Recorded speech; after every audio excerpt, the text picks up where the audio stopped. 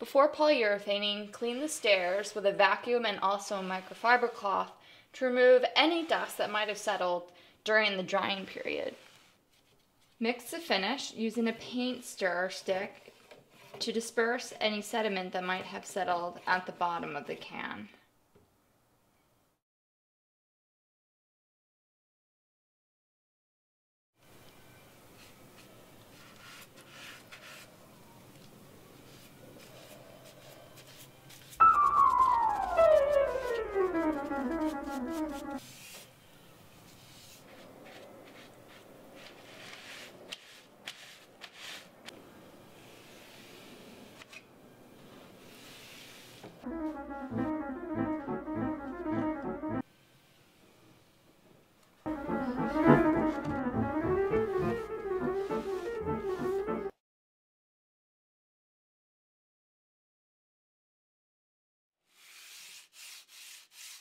Thank you.